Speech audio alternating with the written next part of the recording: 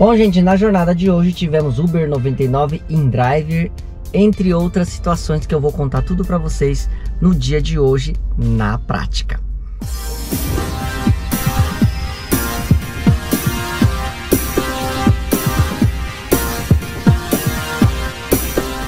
Olá, sejam bem-vindos para mais um vídeo aqui no canal Uber do Japa. Meu nome é Luiz Satada e sou motorista de aplicativo atuante da cidade de Mogi das Cruzes há mais de 5 anos e meio e posto muito conteúdo relacionado às questões financeiras e ao desenvolvimento pessoal. Bom, gente, tivemos vários acontecimentos no dia de hoje, inclusive várias mudanças de dinâmica na noite de hoje. É um vai e vem, dinâmica vinha e sumia vinha e sumia pelo menos umas quatro vezes e eu vou mostrar tudo para vocês no dia de hoje. Também iniciei a minha jornada em Mogi e finalizei em São Paulo e vou contar para vocês também o motivo. Outra coisa também é que eu passei para vocês algumas dicas aí de posicionamento em horários de baixa demanda. Então, acompanhe o vídeo no detalhe para vocês que querem aprender estar vendo aí tudo na prática no meu dia a dia. Mas antes disso, já sabe, deixa aquele like no vídeo e se caso você não for inscrito, já se inscreva agora mesmo e ative o sininho, pois assim você não perde nem o conteúdo que eu posto diariamente aqui no canal, beleza? Fala pessoal, uma ótima noite a todos então. Hoje, sabadão, dia 24 de junho de 2023, iniciamos mais uma jornada. Liguei o aplicativo hoje, era umas 3 horas, 3 e 5 mais ou menos da tarde. Aí tocou a primeira corrida depois de um tempo, né, depois de mais de uma hora e meia mais ou menos, tocou a primeira corrida e eu cheguei aqui direto de Mogi para Jardim Paulista. Deixa eu mostrar aqui para vocês, ó. Esse aqui é o aplicativo online, nós estamos com 11 reais de dinâmica. Aqui, ó. Aqui a foto do perfil, aplicativo online. Aqui tá marcando 224, mas tem viagem do dia anterior. Tem, um print aqui, ó. Olha, é print isso aqui, ó. 79 e 13 é de ontem, 1 hora e 24 e uma viagem, ó. Esse aqui é os valores que a gente tem que descontar no fechamento, beleza? E aqui é o aplicativo ligado. Vamos ver aqui a última viagem, ó. Última viagem, R$ 145,59 no xão de Mogi para São Paulo, ó. O passageiro pagou 124 reais, ó. Teve uma boa promoção aí pro passageiro, ó. Dinâmico de 1,25, 4,70 de pedágio, levou 1 hora e 28, 71,8 km, ó. Teve uma parada na Liberdade e depois seguimos aqui pro Jardim Paulista aqui na Radoc Lobo. Aí, ó. 145, 1 hora e 28, 71.6 km. Vamos ver aqui. Ó, foi no dinheiro, ó. Ele fez um Pix. O valor do passageiro é 152, promoção de R$ 22,57, ó. Então a Uber ficou com 25,35 negativo, ó. Certo? Ó, corrida de Mogi não tem desconto de imposto. Só o que inicia aqui em São Paulo. Então, estamos com esse dinâmico de 11 reais e vamos para noite e também madrugada, né? Vamos lá, vamos para cima. Daqui a pouco a gente volta. Estamos aqui no estádio do Morumbi. E olha aqui, quem é dessa época, ó. Para quem os entusiastas que gostam de futebol, quem é esse aqui, ó? Tele Santana. E esses troféus aí, ó. Fala aí, quem sabe fala aí, comenta aí. Bom, gente, voltamos agora 22 horas e 59 minutos, 23 horas, né? Já vai dar. Vamos lá. Ó, até agora 486 reais. Ó, a gente tem que descontar 79,56 desse valor. Na verdade não é 11 viagens, são 10 viagens. Ó, promoção 26 reais. Hoje teve alguns turbos aí, então meio que ajudou aí. Vamos ver aqui, ó. Depois que eu mostrei essa corrida aqui de 145, Ó, peguei uma 11 reais no Dinâmico, no Jardim Paulista. Aí para Moema, 37 reais, 8,75, ó. Foi bem começo, muito bom a parte do início da noite, ó. 22 minutos 26 reais, Jardim Paulista. Jardim Paulista Morumbi, aqui às 8. E aí do Morumbi eu fiz uma corrida para Vila Andrade, ó, 9 horas. Demorou aqui, ó. Aqui levou 38 minutos, porque essa corrida aqui, ó, do Jardim Paulista pro Morumbi teve uma parada, né? Então acabou demorando mais. Fui para Consolação e depois pro Morumbi. E aí, ó, 38 reais. Saúde. Vou pegar. Tem que mostrar isso aqui que eu quero falar um negócio para vocês, ó. É, Pinheiros Vila Andrade, né? Corrida aqui de 47 reais. Depois eu peguei essa de 20 reais lá dentro do Morumbi. E aí da Morumbi para Vila Andrade, da Vila Andrade eu voltei para Pinheiros. E aí começou a tocar mais aqui, ó. Depois das 10, né?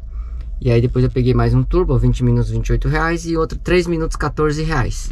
E aí tocou uma corrida agora pro Morumbi eu não fui. Por quê? Porque agora provavelmente o movimento vai dar uma melhorada nessa região aqui.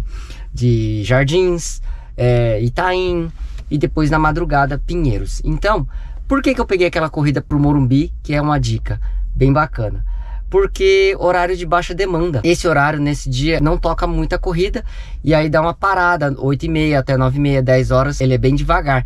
E aí eu peguei pro Morumbi e foi bom porque lá no Morumbi fiz uma corrida, depois eu peguei outra, uma corrida boa voltando para Pinheiros e aí começou a tocar. Inclusive, como eu falei, tocou outra pro Morumbi agora não fui. Esse para saúde também tomei na dúvida, mas é porque eu já cancelei um. Não deveria ir, na verdade, porque agora vai tocar mais próximo aqui. É hora de não sair muito dessa região né? Então, tem horas que você tem que dar uma saída, né? Mesmo saindo, saúde, Jabaquara ainda toca black, então dá para fazer. Os horários de baixa demanda, você tem que sair um pouco do black, quem trabalha no black, né? Agora no X é diferente que você vai, vai fazendo, onde você acha que vai tocar, você vai fazendo. Mas no black já não. Esse horário, por exemplo, você tem que se concentrar um pouco mais no miolo. Esse horário das 23, por exemplo, 10, 11 até meia-noite, vai tocar corrida no Jardins, vai correr, tocar corrida no Itaim e depois na madrugada em Pinheiros. Então, a gente tem que não se prender só num lugar, a gente tem que aprender os horários que dá para sair para fazer corridas. Por que eu tô falando isso? Para a gente continuar fazendo corridas no Black. E de repente algum no comfort para retornar, se for uma corrida que vale a pena também. Então, sempre tem que ir pensando no horário e na corrida que você vai pegar. Será que vai é, demorar muito? Já tá reclamando. Então, mas eu acho que eu vou cancelar essa também, não vou não, porque agora tá tocando aqui no, no Jardins. E aí ela já está questionando aqui. Então vamos resolver essa situação. Eu não vou não, vou cancelar. E a gente continuamos aqui nos Jardins, nessa região aqui onde eu falei para você. Conforme esse raciocínio que eu tô passando para vocês. Beleza? Daqui a pouco a gente volta. Bom, gente, voltamos agora 4 horas e 49 minutos. Já vai dar 5 horas. E eu já desliguei o aplicativo da Uber. Já vou explicar o porquê. Vamos lá então. Vamos mostrar como é que foi as corridas da madrugada. Deixa eu voltar aqui. Foi aqui, às 11, 11 horas foi a última corrida, não é isso? Vamos ver aqui. Aqui, ó. Esse aqui foi a última que eu peguei, ó. Curtinha, 3 minutos, 14 reais na região dos Jardins. E aqui também na região dos Jardins, ó, 26 reais. 11 e meia, depois 11,53, ó, 23 reais em 7 minutos.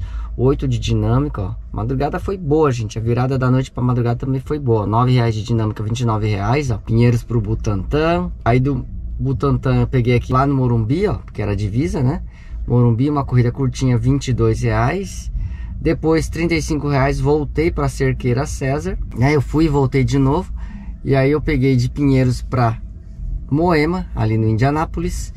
Moema, voltei pro Jardim Paulista tudo no black, gente, ó. Hoje tudo no black, tocou bem. Madrugada boa. Ó, dinâmico de 12 reais 7 minutos. Cancelamento e a última agora, 29 reais em 14 minutos. O que, que aconteceu nessa madrugada? dinâmica foi e voltou umas quatro vezes. Foi forte e parou, umas quatro vezes que eu contei. Né? Então, em algumas eu consegui pegar dinâmico alto, outras não. Perdi um dinâmico de 23 reais. Era para aceitar a corrida e cancelar acabei deixando passar e quando fui aceitar já tinha ido.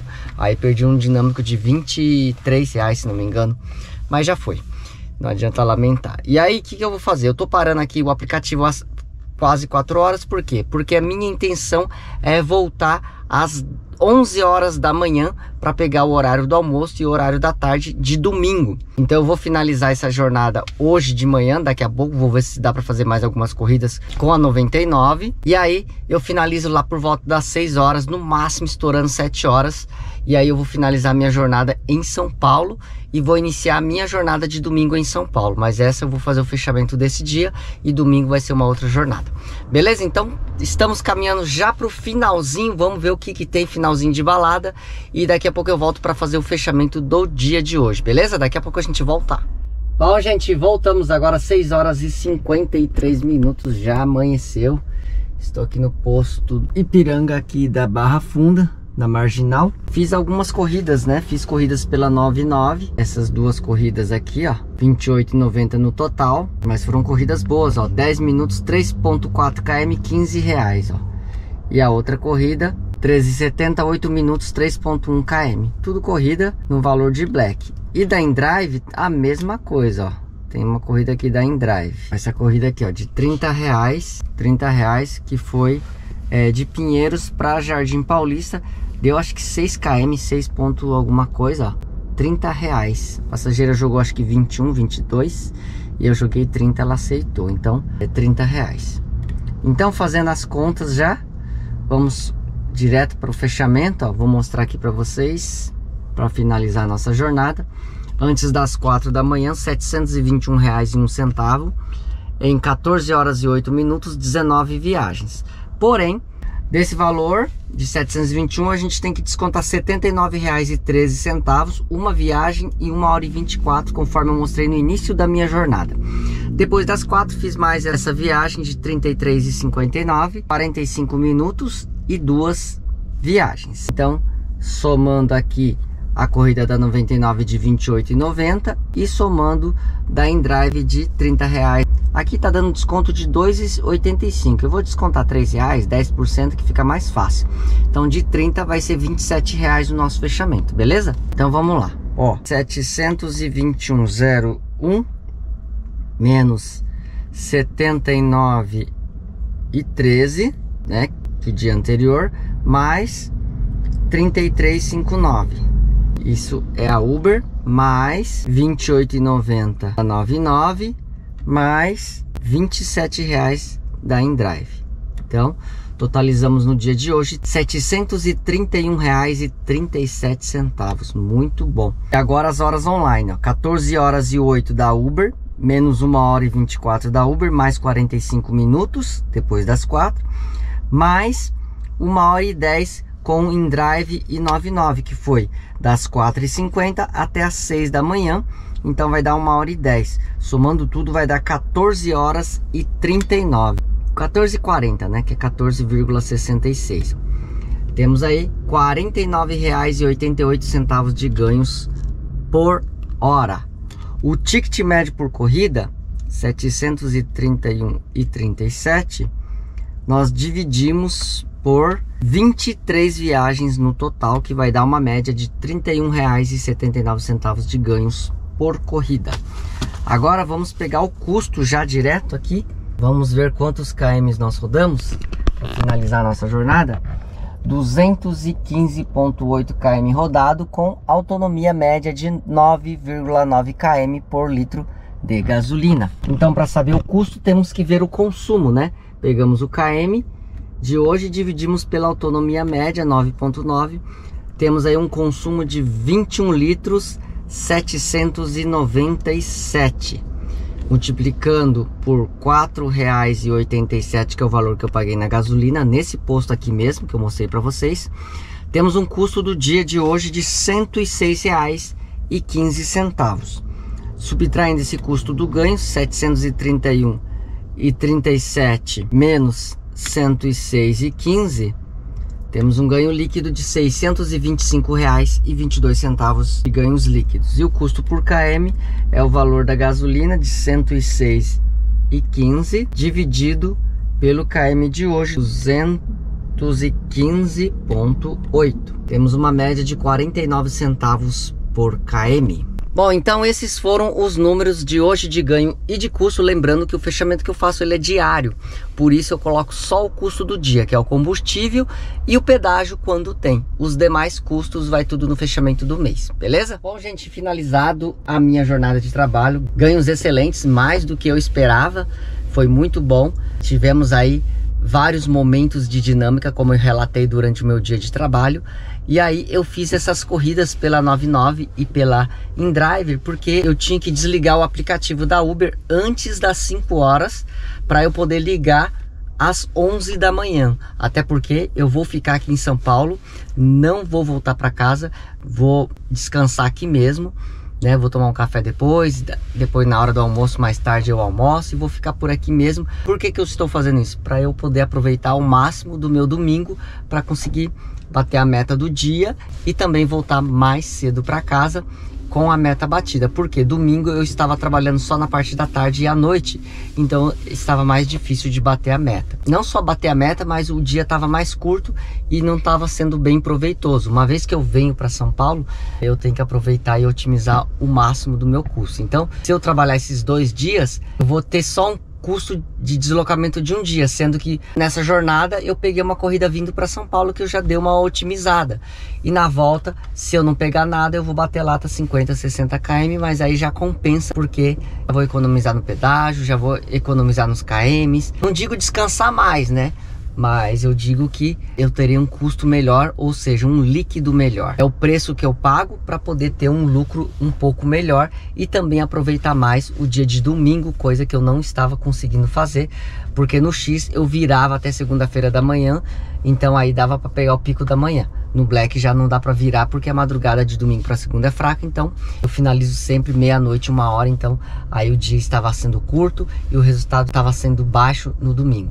Então agora eu vou conseguir aproveitar melhor. Então esse é o intuito de eu parar e terminar e finalizar o meu dia aqui em São Paulo e depois voltaremos aí para a jornada de domingo. Então finalizando o meu dia por aqui, muito obrigado para você que ficou até o final do vídeo, já aproveita deixa aquele like, porque faz com que esse conteúdo seja entregue para mais outros parceiros. E se puder, compartilhe com seu amigo no seu grupo de WhatsApp na sua rede social. E se caso você não for inscrito, já se inscreva agora mesmo e deixe o sininho ativado, porque toda vez que eu postar um vídeo novo, você será notificado em primeira mão. Então, mais uma vez, muito obrigado a todos, um ótimo descanso para você que está em casa, um ótimo trabalho para você que está nas pistas. Desejo que você tenha muitas viagens abençoadas, ótimos ganhos e que chegue em casa com saúde, com segurança, com alegria e, claro, com muita gratidão no seu coração. Tá bom, gente? Um grande abraço, fiquem com Deus, excelentes viagens e ganhos a todos e até o próximo vídeo.